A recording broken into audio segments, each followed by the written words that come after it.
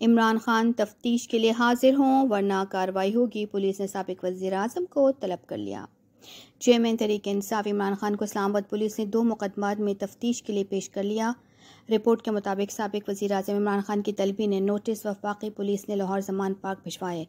इनके खिलाफ इस्लामाबाद के सी टी टी समेत नौ पुलिस स्टेशन में मुकदमा दर्ज किए गए हैं। नोटिस में कहा गया, इमरान खान मुकदमात में तफ्तीश के लिए थाना रमना पेश हो जाए, वरना कानूनी कार्रवाई होगी। इमरान खान को अपने मुकम्मल दस्तावेजात भी लाने को कहा गया। दीगर मुकदमात में उन्हें कल थाने पेश होने की हिदायत की गई है।